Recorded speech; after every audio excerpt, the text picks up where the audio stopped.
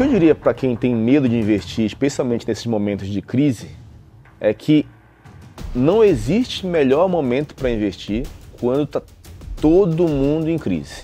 É nessa hora que fica tudo muito barato. Na verdade, quando a bolsa foi ali para 60 mil pontos em 2020, o meu sentimento, e eu vou copiar aqui, o, obviamente, meu ídolo Warren Buffett, era o mesmo de uma criança entrando em uma loja de doces. Assim, tem que comprar tudo, porque estava tudo barato naquele momento.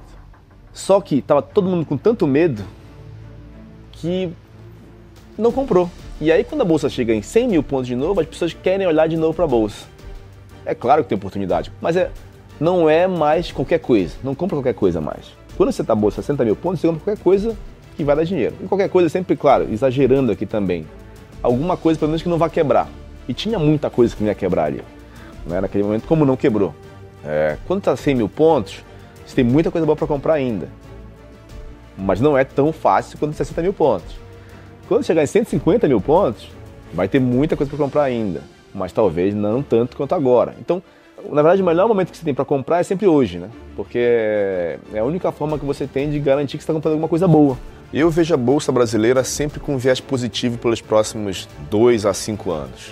É claro que o curtíssimo prazo, aí um ano, essa, esse cenário é um pouco mais nebuloso. Isso porque você tem ainda uma pandemia cujos efeitos a gente ainda não sabe do lado econômico. A gente tem também nesse cenário os estímulos todos que foram concedidos. A gente vai ter que pagar essa conta, ou seja, o governo emitiu dinheiro e essa conta vai chegar, seja em forma de inflação, seja em forma de desvalorização dos ativos de alguma forma. Então essa conta chega. Mas para dois a cinco anos esse cenário é muito positivo, porque esses efeitos já vão ter ficado para trás e a bolsa como um todo deve andar muito bem. Pandemia, lockdowns, clima esquentando na cena política. Analistas já aguardam uma alta da inflação, já começam a imaginar um salto nos juros. Parece um contrassenso pensar em investir na bolsa. Mas, como diz o Leonardo Pontes, são nesses momentos que dá para comprar excelentes ações a um preço mais baixo. Não é qualquer ação, são as ações boas, com maiores potenciais de valorização. E também não é qualquer pessoa que vai te mostrar como encontrar essas companhias. O Leonardo Pontes atua no mercado financeiro desde 1996 e por aqui é carinhosamente chamado de sniper da bolsa. Não por acaso. No ano em que quase todo mundo perdeu dinheiro, ou na melhor das hipóteses, não perdeu nem ganhou, ele foi estratégico e assertivo, investindo nas ações certas enquanto todos fugiam da bolsa e assim conseguiu retornos altos para si e seus seguidores, colecionando ganhos surpreendentes em suas carteiras. Tudo isso é fruto de décadas de muito estudo, de dedicação diária, por horas, análises profundas do mercado. Agora ele está de volta para buscar em 2021 e nos próximos 3 a 5 anos os melhores retornos para quem seguir ao lado dele. Ele estará com você hoje e nos dois próximos vídeos todos produzidos pela Inversa e exclusivos para os nossos leitores. Você vai saber como ele faz para mirar nas companhias com maior potencial de ganhos na bolsa. Você saberá também como ficar preparado para ter a munição necessária, ou seja, o dinheiro em caixa para agir no momento certo. Então prepare-se para estar no grupo das pessoas que aproveitam as oportunidades em vez de ficarem paralisadas e perderem dinheiro. Hoje e nos próximos dois vídeos você vai ver como pode ter ganhos de 3 vezes, 5 vezes e até 10 vezes ao lado do seu novo instrutor. Você vai saber como investir como um sniper da bolsa. Vai mirar nas melhores ações da bolsa, as melhores e as mais baratas. As ações que ficaram baratas em 2020 são justamente as ações que sofreram mais naquele momento. As ações, claro, que dependem da presença do consumidor. Então, as ações de empresas de turismo, empresas de aviação, essas são ações que acabam ficando muito baratas, porque o setor sofre muito no primeiro momento, então você realmente tem uma pressão muito grande na geração de caixa, na receita dessas companhias. Por outro lado, se essas empresas estiverem saudáveis financeiramente, a partir do momento em que você tem uma recuperação, você tem uma volta da economia, uma volta à normalidade, essas empresas também têm tudo para se recuperar. Então, por exemplo, as empresas de aviação, é claro, ficou, acho que ficou claro para todo mundo o quanto elas sofreram nesse período de crise. Né? As pessoas pararam de viajar. As empresas de turismo, a mesma coisa. Não faz sentido você ir para uma outra cidade se você não vai ter, não vai conseguir ir para um restaurante, não vai conseguir aproveitar os passeios. Então sofreram muito. A partir do momento em que você tem uma aceleração da vacinação, as pessoas podem conviver normalmente, essas empresas voltam a gerar caixa e aí, claro, elas no mínimo deveriam voltar ao preço que elas estavam pré-pandemia. Acho que um dos grandes ganhos mais recentes que a gente teve agora é, recentemente, justamente na época da pandemia, foi a compra de ações de uma empresa de aviação muito boa aqui no Brasil. Essa empresa, a gente fez uma avaliação muito forte dela, das vantagens competitivas e, particularmente nesse cenário de crise, a gente olhou para um lado que é vamos ver se essa empresa tem capacidade de atravessar essa crise, se essa crise durar dois anos, se essa pandemia durar dois anos. E a gente fazendo várias contas, a gente entendeu que essa empresa sim tinha caixa suficiente, a dívida estava no longo prazo e a vantagem competitiva continuava lá. Então a gente recomendou a compra dessa empresa e isso a gente recomendou, se não me engano, ali por maio, mais ou menos, e pouco tempo depois é, os assinantes conseguiram ter um retorno de mais de 100% nessa ação.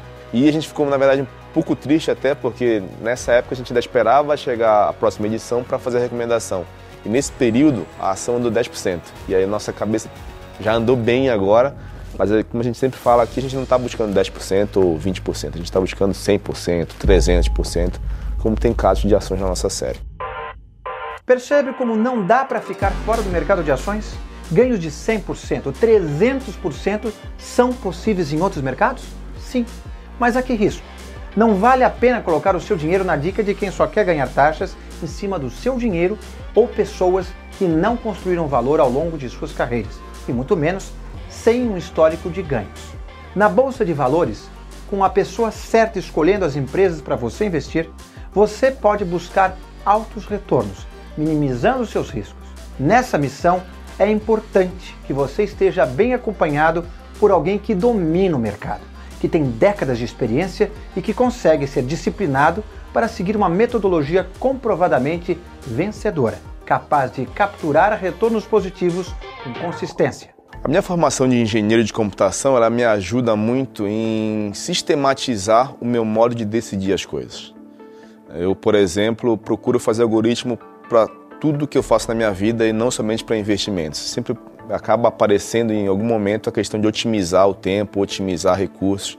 E isso, claro, acaba ajudando muito em investimentos, porque quando você pensa em investir, nada mais é do que você tentar otimizar o retorno do seu dinheiro, correndo o menor risco possível. Então, isso sem dúvida nenhuma ajuda essa parte toda de otimização, de fazer conta, de construir modelos. Eu comecei a trabalhar no mercado financeiro oficialmente em 1996. Eu tinha 16 anos nessa época. Foi meu primeiro emprego no Banco da Amazônia. Então foi meu primeiro contato, na verdade, obviamente ainda não em mesa, não operações, mas já trabalhando com financiamento, trabalhando com financiamento rural especialmente, que eu trabalhava. E a partir daí, claro, é, o conhecimento de mercado financeiro só foi aumentando desde então. No momento em que a gente perceber que está todo mundo vacinado, talvez seja a hora de olhar para aquelas empresas que ficaram um pouco para trás nesse movimento, né? porque vai ter muita coisa já no preço.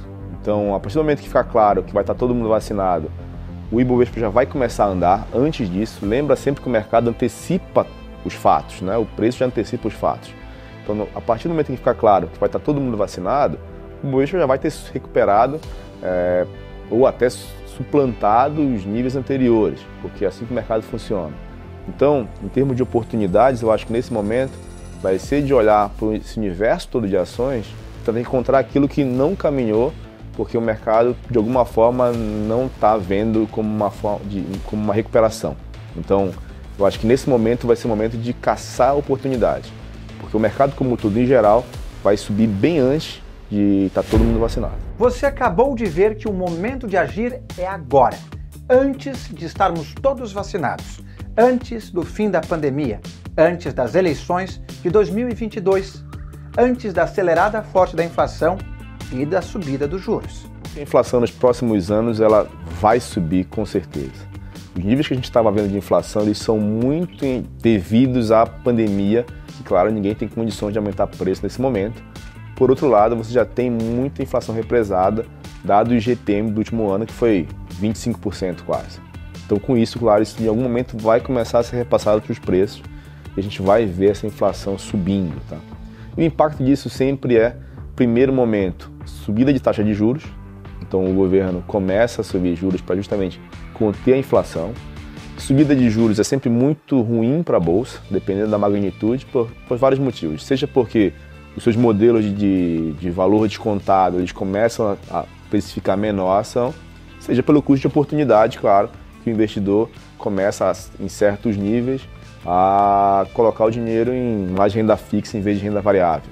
Então você tem esses dois impactos que acabam sendo negativos para a bolsa como um todo. É, por outro lado, eu não acredito que esses juros voltem para dois dígitos, pelo menos não no curto prazo. A gente sem dúvida vai ver os juros subindo, ele pode ser 4, 5. E é um retorno que você parar para pensar, ainda é muito pouco para quem está querendo aumentar seu patrimônio. Então, ainda, ainda nesse cenário, fica positivo para a bolsa, porque se você quiser aumentar seu patrimônio, você acaba tendo que ser dono de alguma companhia. Claro, tem que correr um pouco mais de risco, mas por outro lado, se você está disposto a comprar boas empresas, sem dúvida é uma conta que no futuro ela mais do que compensa. O Leonardo está determinado agora a ajudar você a ser sócio das melhores companhias do país. E como você sabe, você não precisa abrir um negócio próprio e correr todos os riscos decorrentes dessa empreitada para ser o dono de uma empresa. Você pode ter uma fatia de uma grande empresa de papel e celulose, de um grande banco, de uma mineradora, de uma empresa aérea ou de turismo. São empresas com mais de 10 bilhões de dólares em valor de mercado, conhecidas como large caps. E você pode ser sócio de empresas jovens e pequenas. Digo pequenas para o tamanho da bolsa, mas que estão no caminho certo para se tornar as gigantes do futuro. São empresas de 2 a 10 bilhões de dólares em valor de mercado, as mid caps, ou então as ainda menores, as de 300 milhões a 2 bilhões de dólares em valor de mercado, as small caps, e ainda as micro caps, com valor de mercado inferior a 300 milhões de dólares. Nos últimos dois anos, o Leonardo vem conquistando lucros altíssimos com todas essas categorias aqui na Inversa, com um grande foco nas small caps e nas mid caps. São justamente essas empresas que podem trazer para você ganhos exponenciais muito mais altos do que os dos índices populares da bolsa. Investir em ações exponenciais significa que os ganhos aceleram. Então, uma ação, por exemplo, que vale um real quando você comprou e ela vale 10 hoje, se ela, se ela aumenta 10% agora, ela está te dando 100% na verdade no seu dinheiro investido. A gente tem que enxergar que esse retorno a cada dia que ela está te dando, ela na verdade ela, está dependente de quanto você colocou lá no início. E é por isso que quanto mais barato você compra, melhor, porque lá na frente esse retorno ele é muito ele é composto. Então isso, isso é algo que, que, que é característico quando a gente investe em small caps. Small caps tem a fama de ser um, uma classe de ações podem levar uma pessoa a se aposentar com um bom retorno, justamente porque são as ações que têm um tamanho né, menor na bolsa.